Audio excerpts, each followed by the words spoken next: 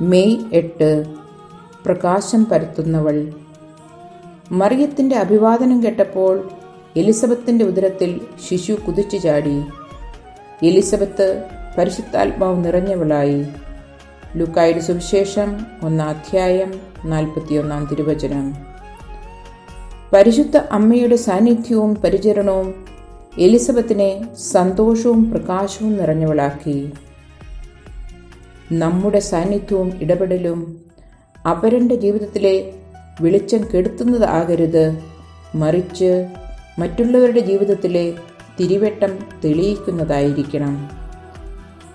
എന്റെ സാന്നിധ്യം കൊണ്ട് അപരന്റെ ജീവിതത്തിന്റെ പ്രത്യാശയുടെ തിരിവട്ടം കത്തിജ്വലിക്കട്ടെ.